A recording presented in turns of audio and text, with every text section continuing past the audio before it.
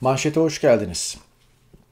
İktidarın dümen suyunda seçim KCS çıktık. Evet iktidarın dümen suyunda seçim şu. Herkes iktidara, AKP'ye, Erdoğan'a bakarak işte Devlet Bahçeli ne yapacak? Acaba şu şöyle bir gelişme olursa iktidardan nasıl bir hamle gelir? Veya iktidarın bu hamlesi nasıl yorumlanmalı falan tadında gidiyor. E, yorumlar, e, pozisyon almalar vesaire. Halbuki iktidarın dümen suyunda seçime falan gidilmez. Yani seçime gidilecekse gidilir ayrı bir konu. Muhalefet de iktidara bakarak bu işlere karar vermez. E, iktidara bakarak e, tavır belirlemez. E, muhalefet iktidara taliptir. Muhalefetin görevi iktidarı devirmektir. Muhalefetin misyonu budur. Ben bu iktidarı devireceğim. Eğer iktidar suça bulaşmışsa, iktidar yolsuzluğa bulaşmışsa, hırsızlığa bulaşmışsa, uluslararası suçlara bulaşmışsa neyse hesap soracağım diye gelir. Yani Demirel öyle. 1991'de Turgut Özal'dan hesap soracağım diye geldi. Çankaya noteri dedi ona vesaire. Benim 1991 seçimleri oy kullandığım ilk seçimdi. Çok net hatırlıyorum yani. O işte hesap soramadı ayrı bir konu ama yani neticede devirmek için geldi. Yani hatta böyle Demirel'e atfedilen de bir slogan vardır. Yani ne veriyorlarsa beş fazlası falan. Yani bizim gördüğümüz e, muhalefet liderleri iktidara gelirlerken iktidara bakarak veya o anda hangi parti e, ülkeyi yönetiyorsa ona bakarak falan e, tavır belirlemedi yani. Aynı şekilde Erbakan'ın Erbakan'ın iktidara gelmesi 1995'te böyle oldu yani. Erbakan'ı muhalefette, iktidarda ve sonrasında partisi kapatılana kadar takip eden biri olarak söylüyorum. Bir söylem tutturdu gitti ve gümbür gümbür işte o söylemiyle de kendini halka kabul ettirdi ve işte birinci parti çıktı. Nasıl 91'de Demirel çıktıysa 95'te de Erbakan birinci parti olarak çıktı. Aynı şekilde AKP 2002'de birinci parti hatta tek başına iktidar olarak çıktı. Bu işler böyledir. Önce gündeme bakalım. Ee, son dönemdeki Abdullah Gül, Tayyip Erdoğan, acaba ne oluyor siyasette yeni şekillenme, ee, bir şey dönüyor başkentte. Bütün bunlara da bakacağız. Ee, gündemde fena halde Didem, Didem Arslan Yılmaz'ın e, Kürtçe ile ilgili çıkışı var. Daha doğrusu e, Show TV'de yayınlanan e, kadın programı veya işte gündüz kuşağı programı ne derseniz işte reality show e, Batı'da da var bu yadırgamayın. E, belli bir kültür seviyesinde insanlara hitap eden yayınlar bunlar. E, orada bazen kan gövdeyi götürüyor, bazen işte insanlar birbirine giriyor, kavgalar oluyor. Genelde ailevi tartışmalar oluyor veya ailevi davalar oluyor neyse. İşte Müge Anlı falan onunla popüler olan Show TV'de de zannediyorum Didem Arslan bir şekilde sahneye sürülmüş. Başka bir kanalda da Ece Üner galiba. Hepsi haber yüzleri bunların. Ben Didem, Didem Arslan'ın bu işe soyunduğunu bilmiyordum. Haber yüzü olarak hatırlıyorum. Ee, aynı grupta zaten Habertürk, Show TV aynı grubun kanalları. Orada işte böyle bir reality show e, yönetirken e, yayına bağlanan kişi Kürtçe konuşunca ben anlarım biraz Kürtçeden. E, işte Türkçe konuşun, hepimiz anlayalım. Burası Türkiye, işte burası Türkiye Cumhuriyeti falan gibi sözler kullanınca tepkilere yol açtı bu durum ve enteresan tepkiler geldi. Onları paylaşacağım sadece. Başka da bir şey demeye gerek yok. Ferhan Tuç diyor ki e, benim tanıdığım Didem Arslan e, Sivas Koçgirili Kürt Alevi bir anne ve babanın kızı. Didem Arslan e, Sivaslı olduğunu söylüyor ancak ötesini anlatmıyor. Onu Ferhat Tunç'tan öğreniyoruz. Ferhat Tunç bunları bilebilecek durumda bir sanatçı. Ee, Sivas Koçgirili Kürt Alevi bir anne ve babanın kızı, ırkçılık gibi bir itham abartılı olmuş sanki. Kürtçe'ye verdiği bu anlaşılmaz tepkiyi büyük bir şaşkınlıkla karşıladım. Ee, Türkiye Cumhuriyeti'nde Kürtler de yaşıyor ve Kürtlerin ana dili Kürtçedir. Fehmi, Fehim Işık özür dilerim paylaşmış. O da tanıyor e, Didem Arslan'ı. Didem Arslan Yılmaz'ın e, ki kendisi gene Kürşat Yılmaz'la evli olduğu için e, gazeteci kökenli bir isim. E, Didem Arslan Yılmaz'ın kendi Sivaslı bir Alevi Kürt teyit etmiş Ferhat Tuncu. Habertürk'te yönelt, yönelt, yönettiği çokça programa konuk oldum. Çözüm süreci dönemiydi. Reklam aralarından birinde fısıldayarak kulağıma Kürtçe konuşmuş ve işte ne dediyse ben onu burada okumayayım hata yapabilirim. Yazık ne derseniz ne düşünürseniz ona yazık işte demiş. Evet. Yazarlarsa yorumlar kısmını öğreniriz. Burada Kürtçe ifade ne manaya geliyor? Açıkçası bilmiyorum. e, ben de Kürdüm mü diyor. Artık bilemiyorum. Ama Fehim Işık e, işte o dönem öyleydi, bu dönem böyle. Yani çok enteresan bir durum. E, çözüm sürecinde Kürtçe konuşmak, e, ben de Kürdüm demek veya bununla e, iftihar etmek pek çok Kürt aydın, gazeteci, siyasetçi neyse programlara, programlara ağırlamak moda ama 10 sene sonra durumlar değişebiliyor. Ee, bir paylaşım daha Mustafa Sönmez'den. Bu Didem Hanım 2012 idi galiba. Nota Bene yayınlarından çıkan Kürtler kitabımla ilgili beni programına davet etmiş ve Kürt sorunu üstüne sorular sormuştu. Demek ki o zaman para ediyordu. Şimdi e, para etmiyor ki vatandaş Türkçe konuş diyor. Haysiyet demiş. Evet. Biraz evvel söylediğim şeyi yazmış esasen. Mustafa Sönmez. Melis Halpan paylaşmış ki çok enteresan bir tanıklık. E, geçtiğimiz yıl uçaktayım ön tarafta yan yana oturan iki kadın aralarında Kürtçe konuşurken yan taraftan alakasız başka bir kadın atılıp Türkçe konuşun anlayamıyoruz ne dediğinizi ya kötü bir şeyler diyorsanız diye onları azarladı. Böyle hadsizlik az gördüm diyor. Bu hadsizlikler batıda da var. Geçtiğimiz yıl ya da ondan önceki sene bilemiyorum. Uçakta bir siyah kadının yanına oturtulmaya çalışılan orta yaşı hayli geçkince bir İngiliz e, buna tepki göstermiş. Ben onun yanına oturmam falan gibi ırkçı söylemlerle uçakta hadise çıkarmıştı ve bu bir video kaydıyla tespit edilip İngiliz medyasında yayımlanmıştı ve çok tepki gördü. Günlerce tartışıldı. Adam adet, adama haddi bildirildi yani. E, ve bir daha da işte bu noktada kafayı kaldıramaz hale getir, getirildi. Bu her yerde oluyor. Yine işte son e, İngiltere'nin e, kupa e, işte maçında e, finalinde daha doğrusu siyahi e, futbolcuların kaçırdığı penaltı atışlarından dolayı ırkçı söylemler falan baş gösterince İngiltere'nin kupayı kaybetmesi değil, İngiliz futbol milli takımının kupayı kaybetmesi değil, bu bir hafta 10 gün konuşuldu. Ve bu insanlar kınandı ve bu insanlar yadırgandı ve bu insanlar ırkçı, bu insanlar e, ne bileyim e, böyle ayrımcı söylemlerinden dolayı e, telin edildi. Kamu yayın kuruluşu BBC'de de diğer tüm gazetelerde de manşetlerden. Bir önceki yayında bahsetmiştim. Faşist görüşler, ırkçı görüşler dünyanın her yerinde var. Ve bugün Türkiye'de sesleri biraz yüksek çıkıyorsa ortam bunlara kaldığı için. E, ve bunları bastıracak. Bir dakika böyle konuşamazsınız haddinizi bilin diyecek e, ve onları gerçekten e, hukuka, evrensel haklara çekecek, insan haklarına çekecek kişiler, kadrolar ve söylem olmayışı.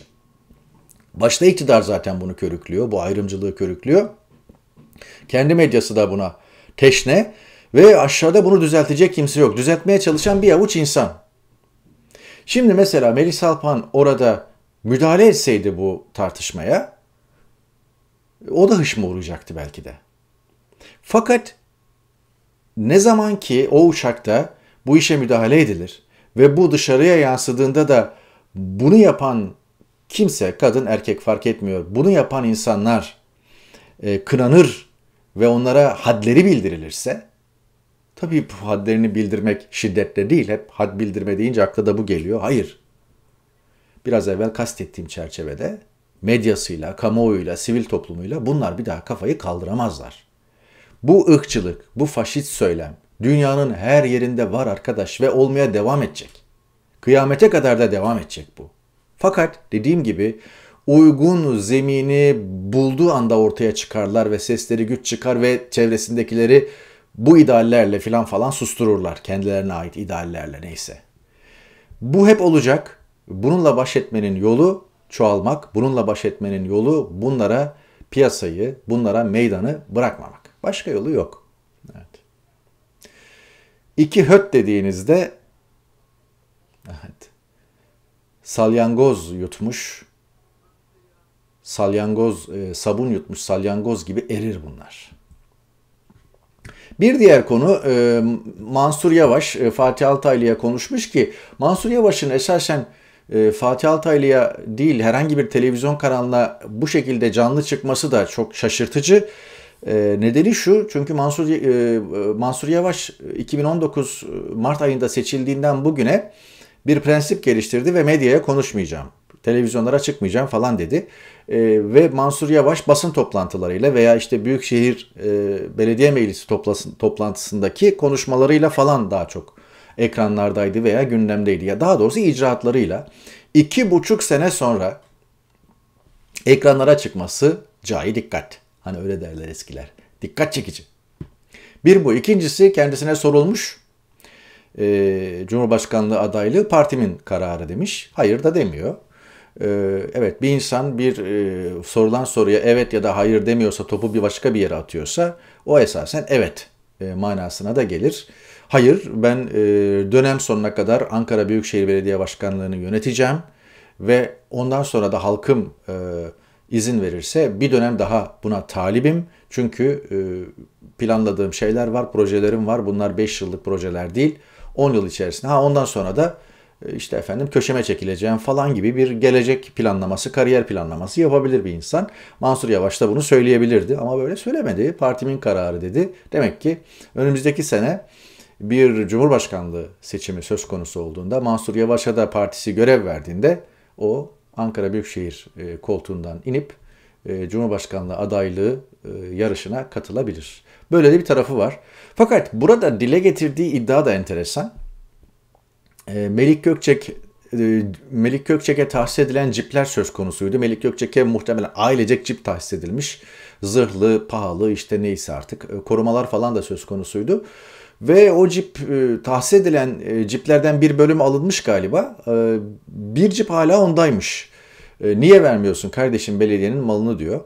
E, iki şey akla geliyor. Tamam Melik Gökçek belediyenin malının üzerine çökmüş olabilir de sen nasıl alamıyorsun? Yani Mansur Yavaş icra gönderir, haciz gönderir. Demek ki Mansur Yavaş da alamıyor. Yani daha, daha doğrusu e, icrası, mahkemesi veya işte efendim belediye malını gasp etmiş bir eski belediye başkanından altından e, gasp edilen mal alınamıyor, çekilemiyor. Yani demek ki hukuk, idare, mahkemeler neyse polis Gökçek'ten yana çalışıyor. Bir de işin böyle bir tarafı var. Son tarafı da şu.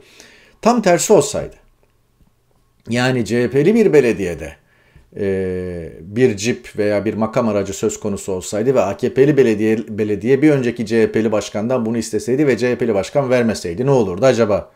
Zaten mümkün değil de onu çoktan böyle e, alırlardı. E, polis gücüyle bilmem mahkeme gücüyle neyse. Dediğim gibi partileri yani yer değiştirdiğinizde durum değişiyor. Tıpkı geçtiğimiz gün polise hakaret eden AKP'li vekil gibi. Polise hakaret eden CHP'li vekil olsaydı CHP'li vekil hakkında soruşturma açılırdı. Ama polise hakaret eden AKP'li vekil olunca polis hakkında soruşturma açıldı. Tıpkı e, bunun gibi. Orada Melik Gökçek demişken e, son derece enteresan bir hadise var. Melik Gökçek hakkındaki dosyalar e, nereye takıldı? Doçevele'de haberi getiriyorum. Mansur Yavaş başkanlığındaki Ankara Büyükşehir Belediyesi Melik Gökçek hakkında yüze yakın suç duyurusunda bulundu. Savcılık Gökçek'i ne ifadeye çağırdı ne de dava açtı.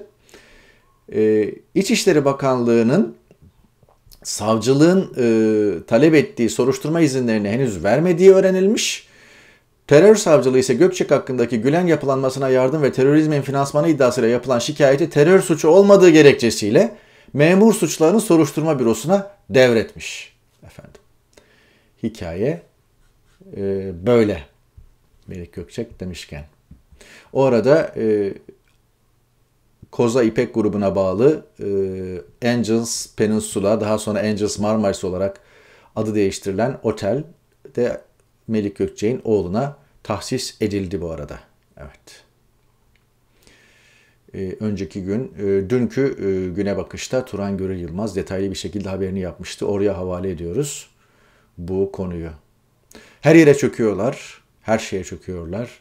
E, emeksiz, zahmetsiz ve buna fena halde alışmış durumdalar.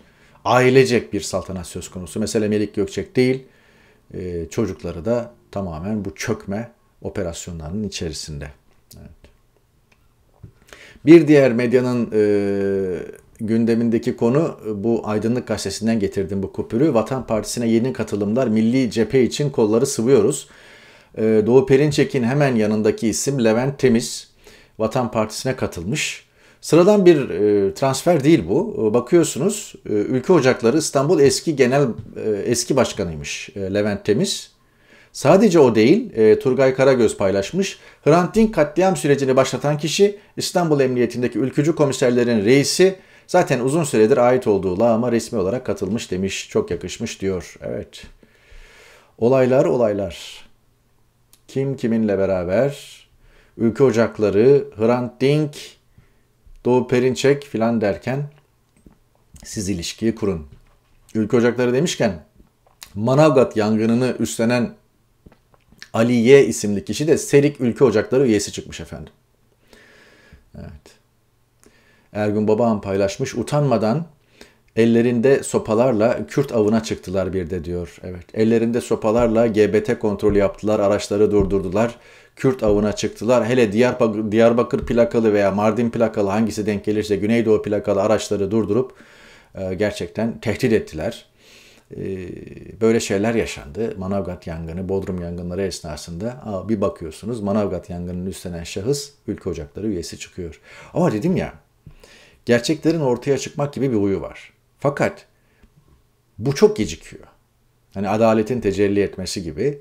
Şimdi o gün bir şey olsaydı, bundan bir ay önce o yangınlar döneminde falan bir şeyler yaşansaydı, birilerinin canı yansaydı, bir takım provokasyonlarda, provokasyonlarda veya linçlerde birileri yaralansa veya öldürülseydi ne olacaktı? Toprağın altında olacaklardı ve işte şimdi bir ay sonra biz aa PKK değilmiş, ülkücüymüş bunlar diye vah edecektik yani, vah diyecektik yani. Evet. Bazı konuların böyle geç ortaya çıkması e, durumu değiştirmiyor. Neyse ki o gün e, çok fazla üzücü hadise olmadı ve ucuz atlatıldı konu. Muazzam bir toplumsal linç vardı yani. PKK üzerinden Kürtlere. Evet. Kızılay Başkanı Kerem Kınık ve kurumun altı yöneticisine huzur hakkı adı altında 2 yılda 2,5 milyon lira ödenmiş. Şaşırdık mı? Hayır. SBK'ya ait Paramount Oteli'nin ilk sahipleri tarafından başlatılan haciz işlemleri uygulanmıyormuş. Şaşırdık mı? Hayır. Böyle bir ülke. Böyle bir ülke. Şimdi böyle bir ülkede işte seçim, seçimle giderler mi, e, parlamenter sisteme dönülür mü falan tartışması e, yapılıyor. E, Fehmi Koru yeni yazısında 25 Ağustos tarihli yazısında şunu söylüyor. Kendi aday olmazsa Erdoğan parlamenter sisteme dönüşüm taşlarını döşeyebilir. Şimdi bu yazıda e, Fehmi Koru burada e, işte Ali Bayramoğlu e,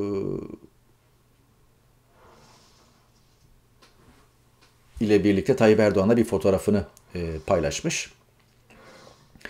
Eski yıllardan AKP'nin belki ilk dönem iktidarından bir fotoğraf. Herkes de genç görüldüğü üzere.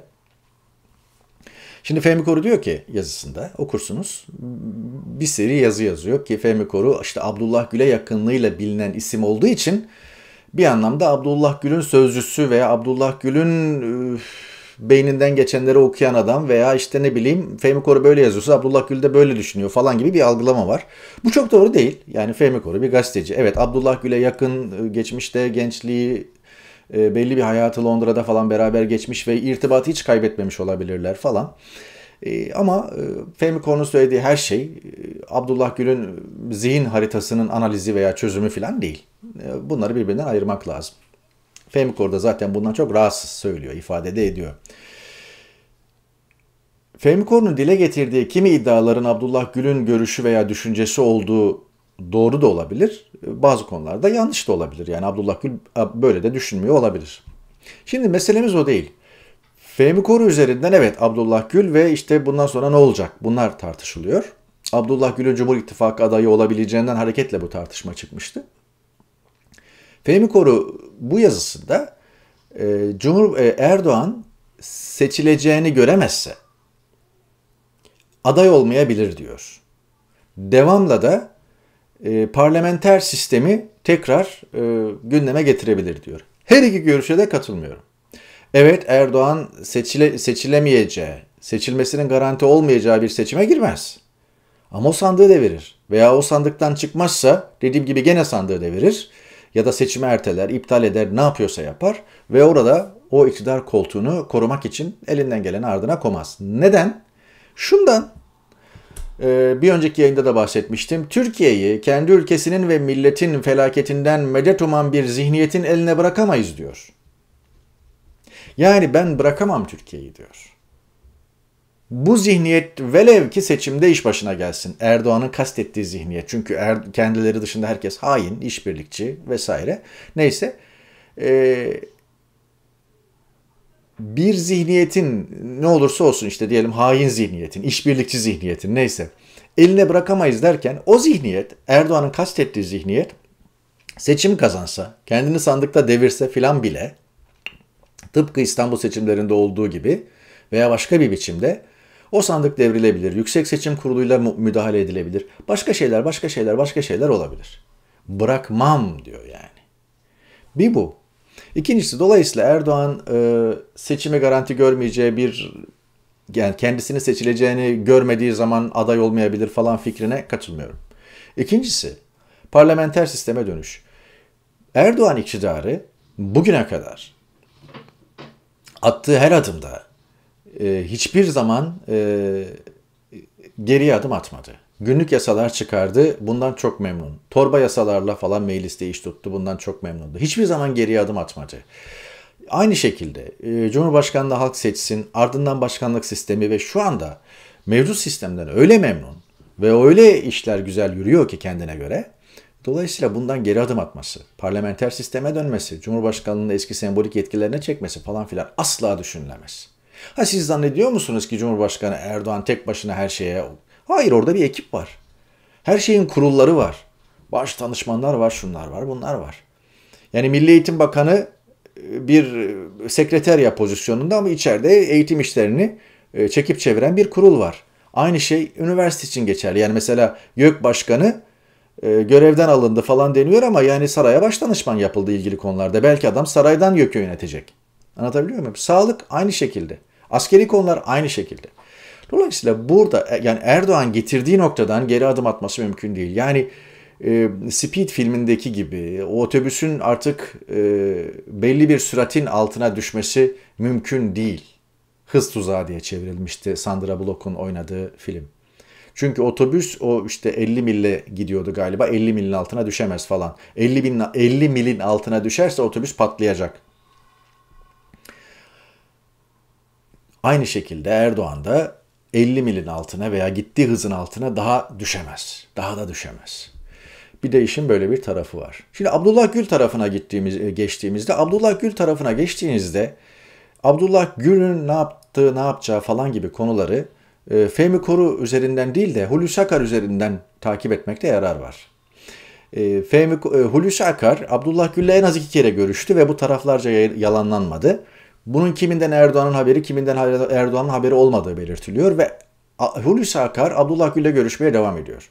Tıpkı 15 Temmuz öncesinde veya tıpkı işte efendim Cumhurbaşkanlığı seçimi öncesinde falan adaylığı söz konusu olduğunda görüştüğü gibi.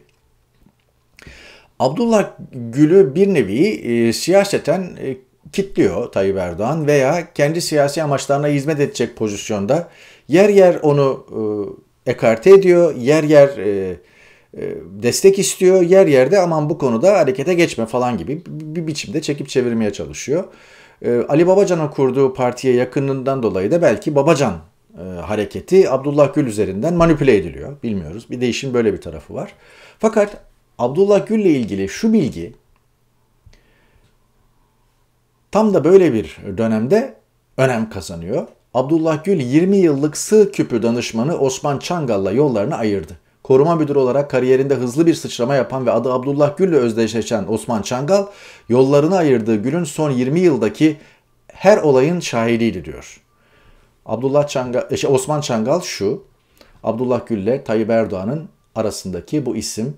Gerçekten Abdullah Gül deyince Abdullah Gül'ün hemen zaten bütün fotoğraflarında görüntülerinde var. Osman Çangal'ı arkasında görüyordunuz. Cumhurbaşkanlığında da ondan önce de ondan sonra da hep yanındaydı 20 yıldır. O ve koruma ekibi Abdullah Gül'ün yanından uzaklaştırıldı. Son derece önemli bir gelişme bu. E, bu haber e, 12 Haziran 2021'de yayımlandı ama e, şu anda çok daha önem kazanıyor. Yani e, aradan iki buçuk ay geçmiş ve o gün çok fazla dikkat çekmeyen bu detay şu an çok önemli. E, Abdullah Gül gibi Kayseriliymiş Çangal. Terörle mücadele birimlerinde komiser olarak görev yapmış. Ve son 20 yılındaki her olayın şahidi. Ee, yine Gül'ün çatı adaylığı konusunda AKP Genel Başkanı Hamza Dağ'la sert bir polemik yaşamış vesaire. Tüm, çünkü Twitter'da falan da etkin bir isimdi Osman Çangal. Ee, Çangal'ın Abdullah Gül'le e, yollarını ayırması hakkındaki diğer iddia Ankara kulislerinde Hayrunisa Gül'ün Çangal'ı istememesi olarak konuşuluyor diyor. Ee, bu arada Gül'ün emekliliğinin ardından Osman Çangal tarafından Gül'ün ekibine dahil edilen Refah ve Fazilet Partili geçmişiyle tanınan Raşit Aydın da yaptığı açıklamayla Gül'le hiçbir bağının kalmadığını ifade etmiş. Filan.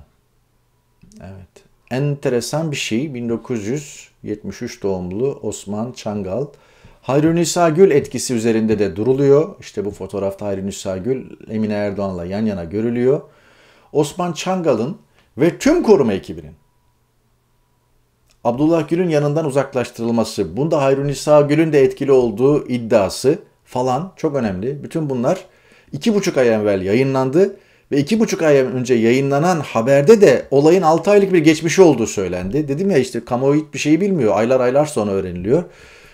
Ee, Gül'ün çevresi de bir anlamda boşaltılmış durumda. Tabii bunda Abdullah Gül'ün Hulusi Akar'la görüştü, Erdoğan'la görüştü. 15 Temmuz öncesi şöyle bir pazarlığın oldu, 15 Temmuz tem- sonrası böyle bir pazarlığın olduğu gibi kimi ifadelerin, kimi bilgilerin e, Gül'ün ofisinden dışarı sızmasının da tesiri var muhakkak. Yani bir takım bilgiler sızınca Abdullah Gül, Hulusi Akar temasına veya Tayyip Erdoğan temasına dair, Abdullah Gül'ün 15 Temmuz'daki rolüne dair falan bir takım şeyler sızınca bir dakika ya diyorlar biz bu ekibi değiştirelim. Peki yeni gelen ekip kim? Bilmiyoruz.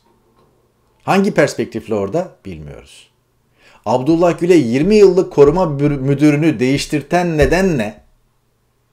Hemen her dönemde korumuş ama 6 ay önce değiştirmiş. Ne? Bu neden? Bilmiyoruz. Evet. Bütün bunların hepsine de dikkatle bakmak gerekiyor. Ben bilmiyoruz diyorum, sorular soruyorum ama siz çok iyi anlıyorsunuz meseleyi. İktidarın dümen suyunda seçim dedik. Evet, muhalefet başta söyledim bir daha tekrar etmeyeceğim. İktidarın dümen suyunda bir iş e, yapmaya kalkarsanız iktidarın dümen suyunda da o iş devam eder. Ne yapacaksanız kendiniz yapacaksınız. Bildiğiniz doğrultuda yürüyecek.